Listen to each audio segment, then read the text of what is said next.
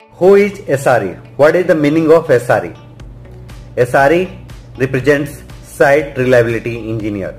And what is the role of Site Reliability Engineer?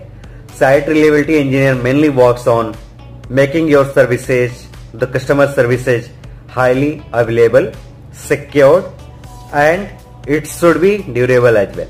So whatever the services you are providing, it should be available. When we talk about the availability, we talk about that customer application or the services should be deployed in two different zones. If you are talk about the availability zones or the different AWS like AWS related things, so it might be in different team, uh, sorry, different uh, region, different availability zones, the different kind of pattern you can uh, configure, correct?